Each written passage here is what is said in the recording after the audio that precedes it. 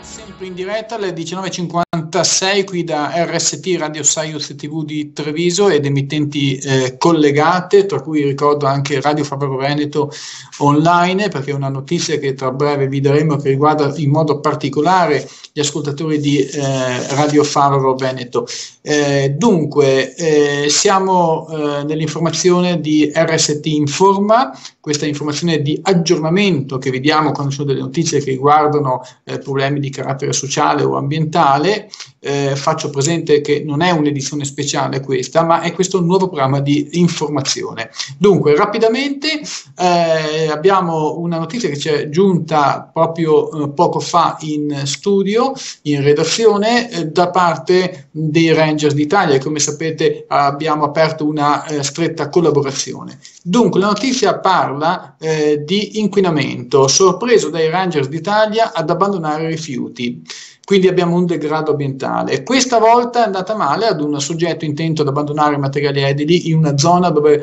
ormai è ben riconosciuta da molti come una grande discarica abusiva. Una pattuglia dei Rangers d'Italia del nucleo operativo ittico ambientale in servizio per una serie di controlli ittici notturni nei canali interni di Marghera riescono a sorprendere sul fatto chi meno se l'aspettava. A fare ancora una, uh, vo- a fare ancora una volta da padrone dinanzi ad una grande montagna di calcinacci ancora presenti prevalgono i rifiuti provenienti dall'attività edile. Grazie alle segnalazioni dei cittadini, ma pure alle confidenze di molti amici pescatori che conoscono molto bene e che nutrono una discreta simpatia nei confronti dei Rangers d'Italia, gli agenti del nucleo operativo sono nel tempo riusciti a sorprendere sia chi abbandona i rifiuti, sia chi pesca di frodo e trasporta nel tempo quintali di vongole senza alcun permesso. Proprio i pescatori tempo addietro confidavano eh, che insistono ancora soggetti intenti a calare reti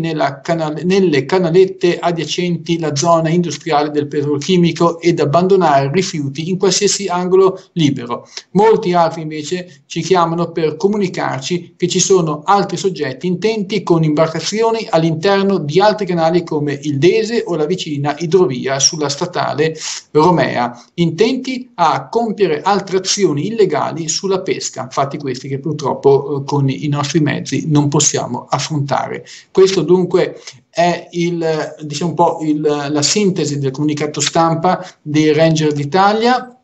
Abbiamo ancora un minuto scarso, possiamo eh, darvi qualche altra informazione sempre inerente a questo discorso. Proprio in via Bottenigo, quindi riprendiamo il comunicato stampa dei Rangers d'Italia, eh, dunque proprio in via Bottenigo nel mese scorso si denunciava la presenza, oltre che del materiale edile frantumato e libero al suolo, la presenza di scarti di ondulina, di Eternit, materiale contenente amianto. La difficoltà dello smaltimento legata principalmente ai costi, molte volte ritenuti importanti, in inducono molte volte i detentori del materiale a fidarsi di chi poi non ci pensa un attimo ad abbandonarlo fuori di casa in mezzo ad un campo con conseguente dispendio economico per tutti gli abitanti. Importante è pure il problema dello smaltimento che dovrà eseguire eh, di chi, eh, chi di competenza proprio perché il materiale è di eh, fonte e origine ignota, necessita eh, di analisi chimica eh, per escludere la possibilità che nel contenuto non sia presente il pericoloso abscesto. In eh, caso contrario il centro di recupero non potrebbe riceverlo come prodotto adatto al recupero. Dunque, alle 20 dobbiamo dare la linea alla regia, è tutto per RST Informa, lettura in studio Massimo Bonella, RST Science, linea diretta con informazione.